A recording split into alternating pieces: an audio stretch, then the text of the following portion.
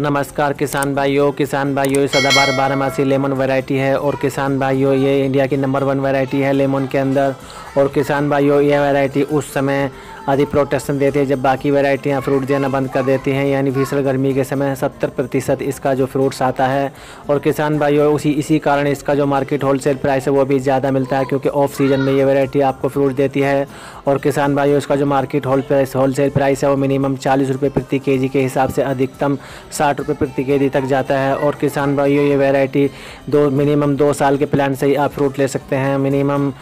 बीस से चालीस के जी और किसान भाइयों यदि आप इस वेराइटी की बागवानी करते हैं तो लगभग एक एकड़ से चार से पाँच लाख का शुद्ध मुनाफा प्राप्त कर सकते हैं और किसान